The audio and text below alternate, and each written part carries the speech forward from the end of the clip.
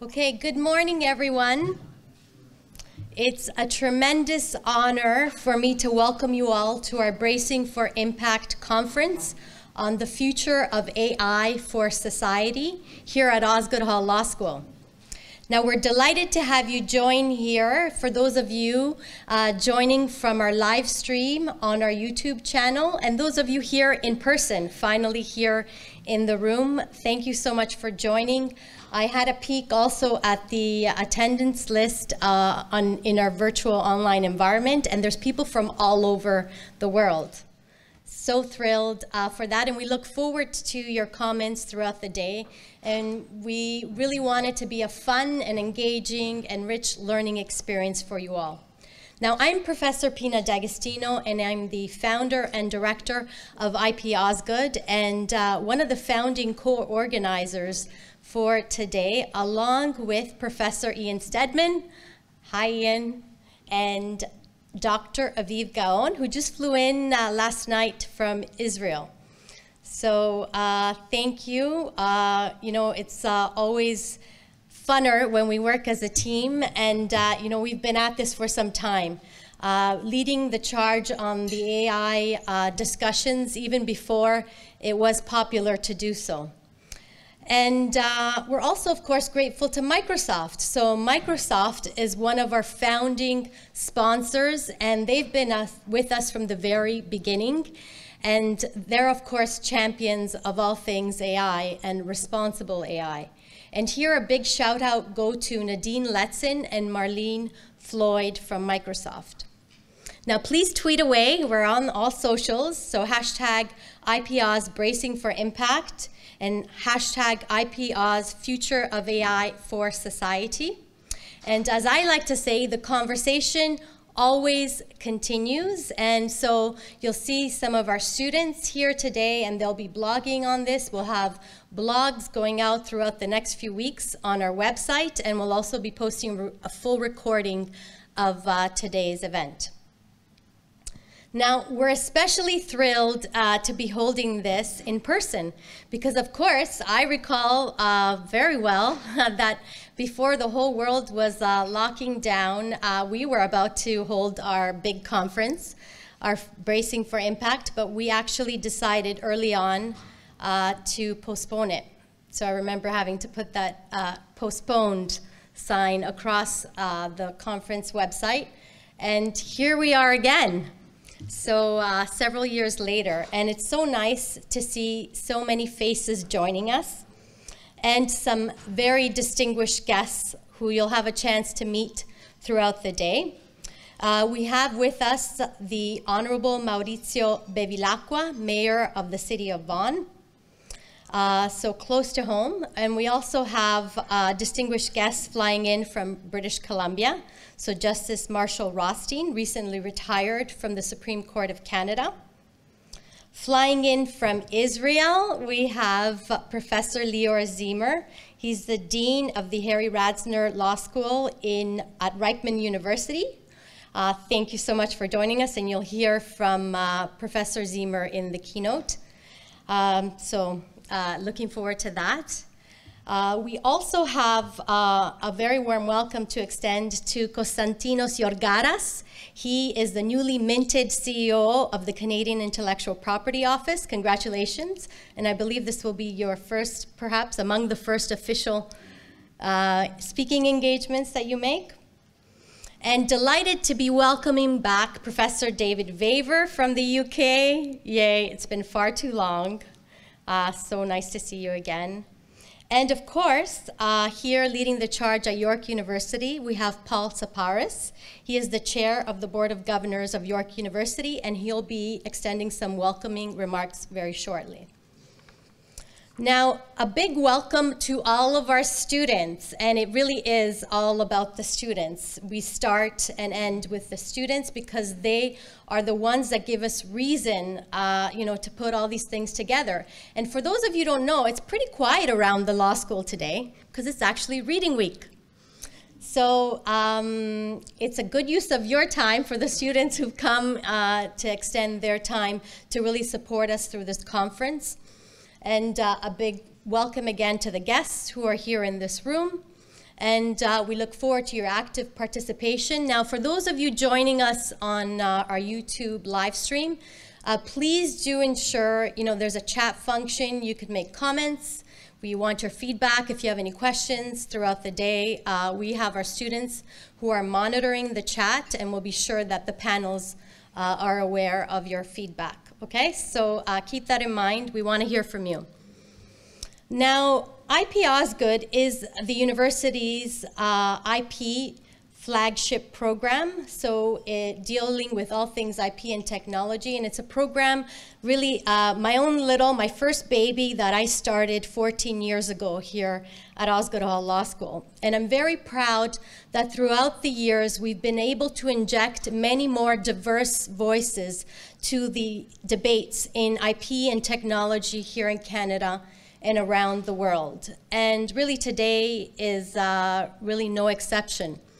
An event like today, the Bracing for Impact series, we've brought together many global experts, not only from law and policy, but from different domains, so in the sciences, engineering, and health, and other important fields, and crossing many bridges, academia, industry, government, and other expert hubs here in Canada and around the world.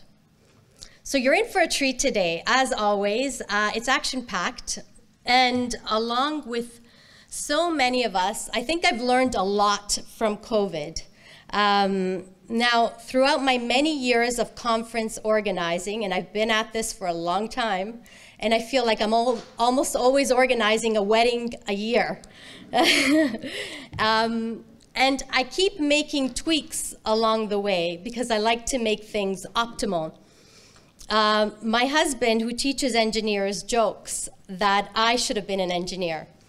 So there are some innovations that you will notice in our conference today. And um, the first one, I think, is there's only so much resilience we've built up to our screens. So we've been doing a lot of screen time. And uh, so you'll notice that our panels are crisp.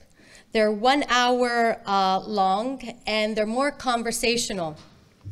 And all, on, of course, on cutting edge themes. Now, outside of the typical uh, keynote that is, um, you know, germane to the conference topic, what we decided to do is to have a compelling keynote uh, from Professor Lior Zemer that really, uh, followed by commentary by Justice Rothstein, that is on a vital topic that transcends all disciplines and that is of, uh, you know, impact and importance to us all. Now, also another innovation, as Osgoode is a leader in experiential learning, uh, this conference is all about that. We're not just going to be talking about AI and theorizing about it, uh, as many academics, we like to do that, but also rolling up our sleeves, perhaps, and uh, making touch point with Spot. So uh, I am told we are the first law school in Canada to bring in uh, a robot. And why not, right? This conference is all about AI. And so let's show what this is about. So Spot is going to be making a debut appearance uh, here on campus. So we'll be having demonstrations throughout the day, and I look forward for you to engage with Spot.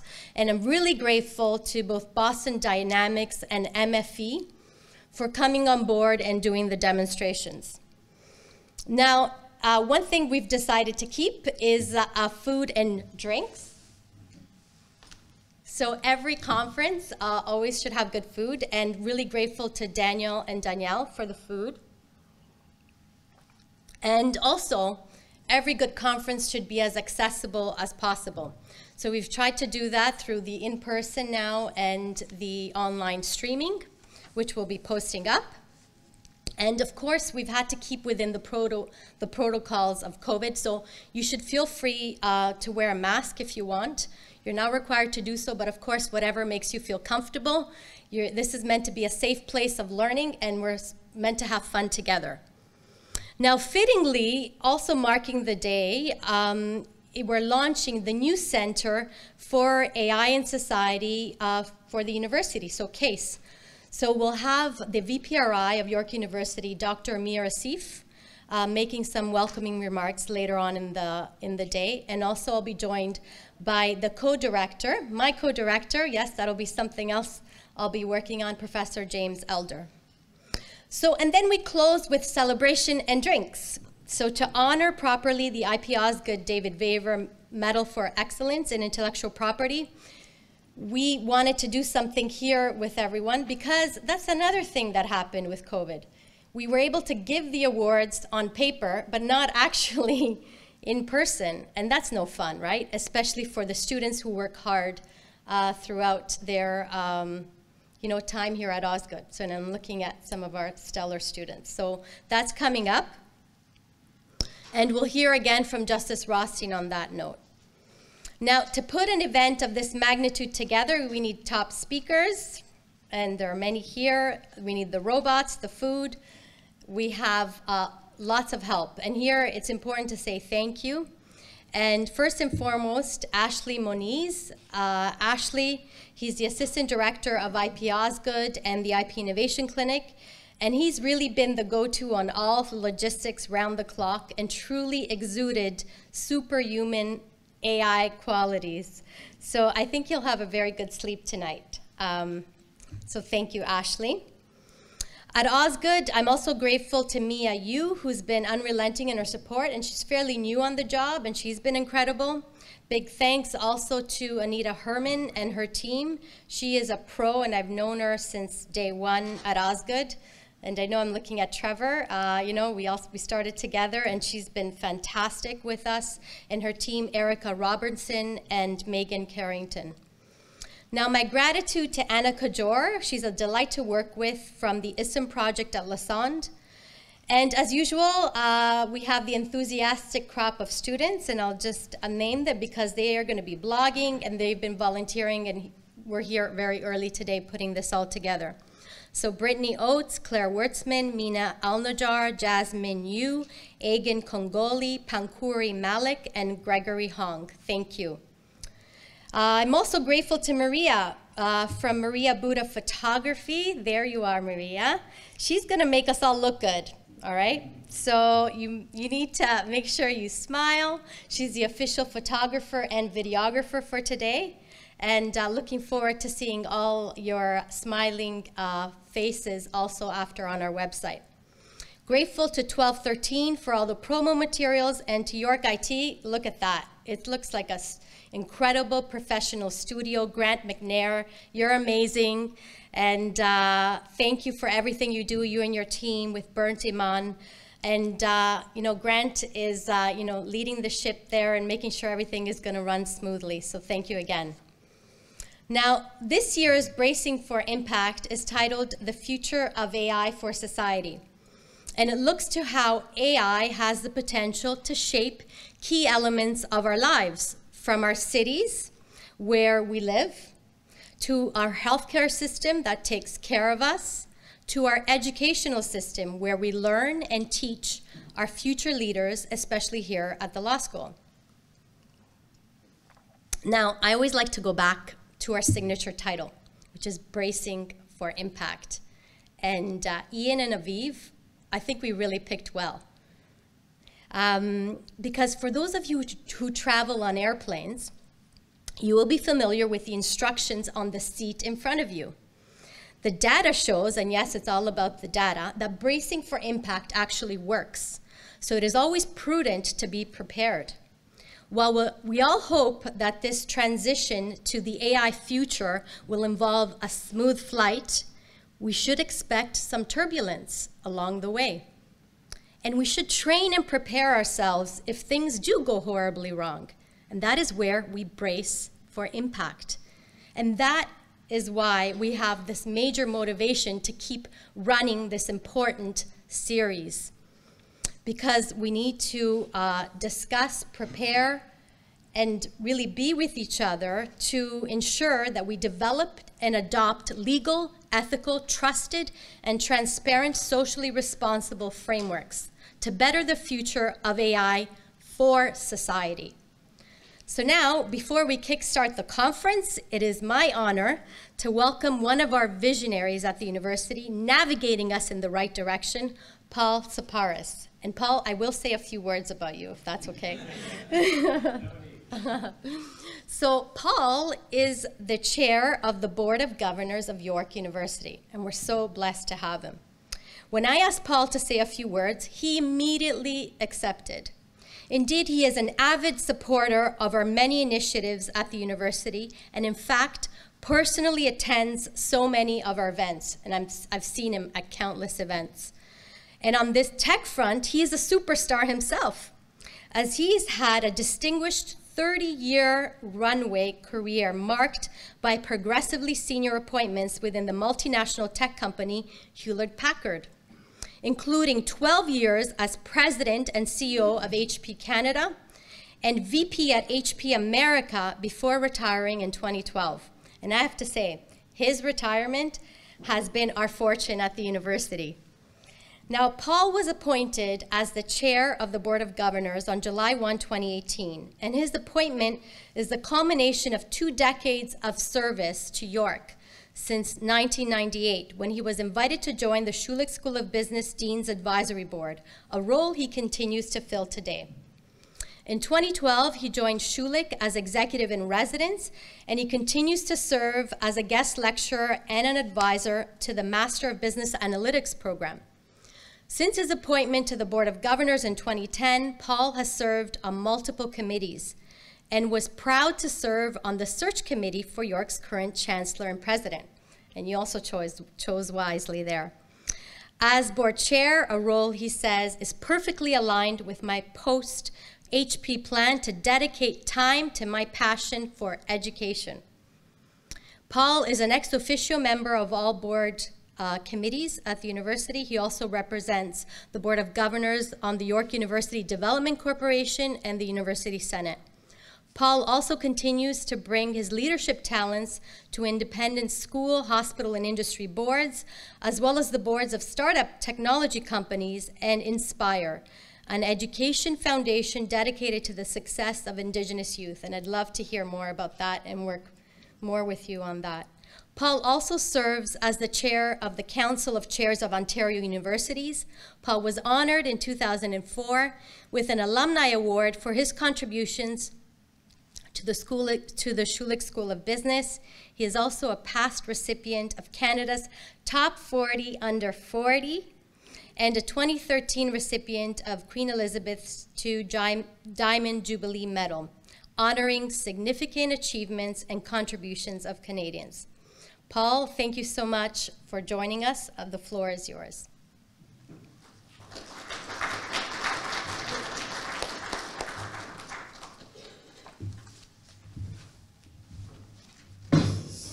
So, Pina, thank you for that uh, gracious and unnecessarily long uh, background. You folks are all uh, wonderful. You can read about these things, but thank you for being so gracious. And it, it is uh, just so delightful to be with you uh, this morning.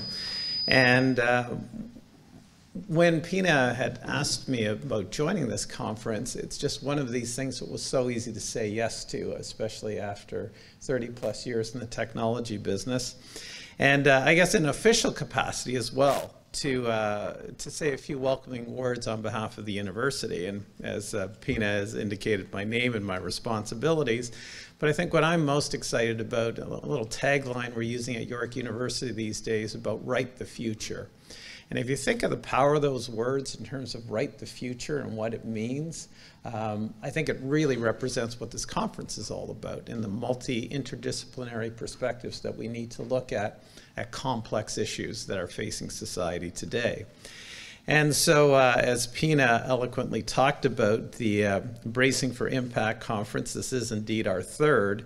Um, but before we do that, we have a very important tradition here and, and as many parts across the country in terms of our land acknowledgement. So I did want to take this opportunity to recognize the many indigenous nations that have longstanding relationships with the territory upon which York University's campuses, and we say that quite intentionally. It's plural because we do have many, uh, not only in the GTA here, but also in uh, Costa Rica and India and places around the world.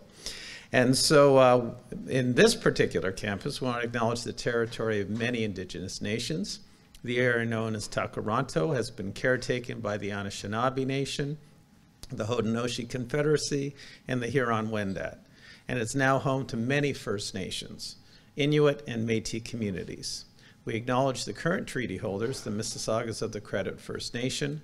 This territory is subject to the Dish with One Spoon Wampum Belt Covenant, an agreement to peaceably share and care for the Great Lakes region. Now, for those of you that are joining us virtually from other parts of Ontario, Canada, and indeed around the world, this land acknowledgement may not be for the territory you're currently on, and if this is the case, we ask that you embrace this opportunity to acknowledge the traditional territory that you're currently on and the current treaty holders. So I think you've seen uh, our leader in action in terms of the uh, founder and director of IP Osgoode, uh, Pina D'Agostino. And uh, I guess uh, one of the things I wanted to share with you, I knew Pina before I actually had, although I've had a long-standing relationship with the university, was actually from an industry perspective that I first crossed paths with Pina and her work in, uh, in, uh, in IP, and certainly spending a career in technology. You can't help but be abreast of these issues and on top of these issues that are out there. So, uh, and so uh, certainly a lot of her uh, accolades have been quite, uh, she's certainly one of the most prominent leaders in terms of AI uh, here in Canada. And it was recently, I'm going to put this little plug in, was named one of the top 25 most influential lawyers in Canada.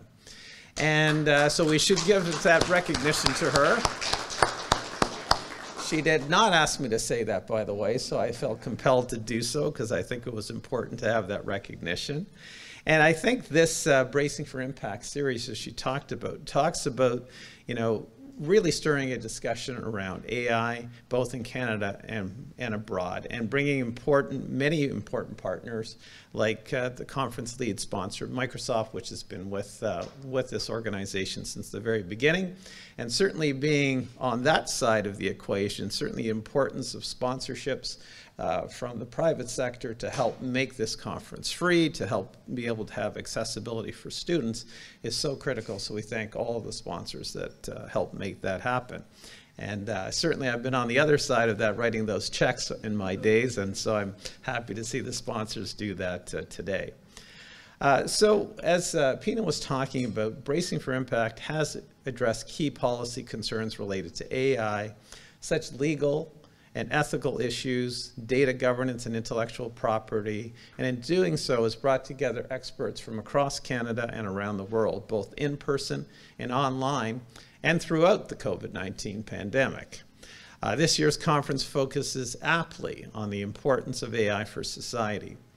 And when York University developed its strategic research plan, and as uh, Pina indicated, uh, Amir Asif, you're going to be hearing a lot more of that uh, later on in the session, we identified the integration of artificial intelligence into society as a key research opportunity. And today this has emerged as one of York University's central areas of focus and is demonstrated through the creation of York University's newly created Center for AI and Society. And you'll be hearing from York University's uh, Vice President of Research and Innovation, Amir Asif, and, know, and two of the co-directors, Pina, as you heard about, and James Elder. Now, for those of you, uh, these are actually chronicled in uh, York University's Wi-Fi file. For those of you that are wanting to know all the current news that's happening with York University, both Pina's recognition as well as the organized research units are highlighted in YFile this morning. So fast breaking news is here.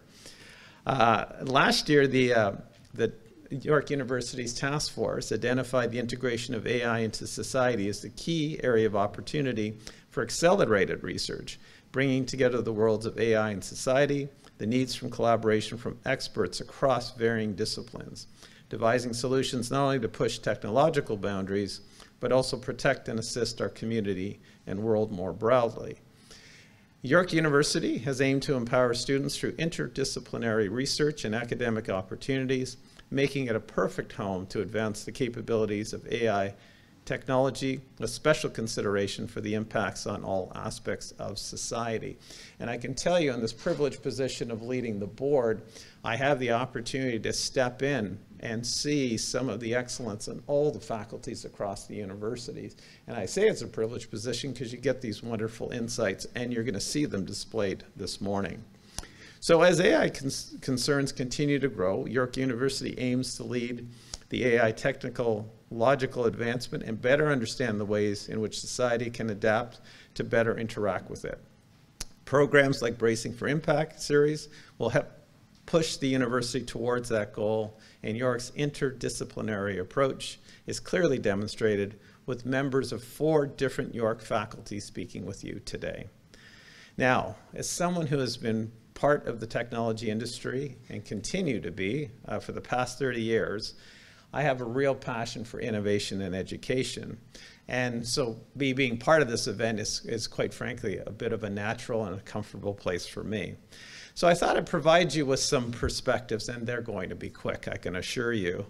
Despite the challenges of biased algorithms, security, privacy, rampant social media where everyone has a megaphone, I remain incredibly optimistic that the important technological, social, and where appropriate, regulatory frameworks will continue to be put in place to address these issues. As they've been in the past with all the other waves of technical technological innovations that I've witnessed over the past 30 years, and I can tell you I have witnessed them. And at every major technological innovations, the same set of questions get answers and the same set of challenges are progressed, and we find our way forward. And I think as it relates to AI, we'll continue to find our way forward. But how? How do we move forward? And I guess in my view, an ethical framework based on the emerging uh, ESG principles uh, can help guide both the private and the public sector in the right direction. We need to be cognizant of the risks. However, we need to be careful not to sacrifice the speed and time to value for business and society that these technologies provide. And we also want to continue to support the vibrant AI ecosystem that's in Toronto, the GTA, in Canada, and in fact around the world where companies are utilizing these technologies to create and improve businesses, improve governments and governments functioning, and society writ large. So these are indeed some very heady challenges, and that's why we are gathered here today to better understand the diverse perspectives necessary to provide insights and solutions. So I wish you all a fascinating and productive day of learning. I applaud Pina and the IP Osgoode team for setting the stage for this wonderful discussion. Thank you very much.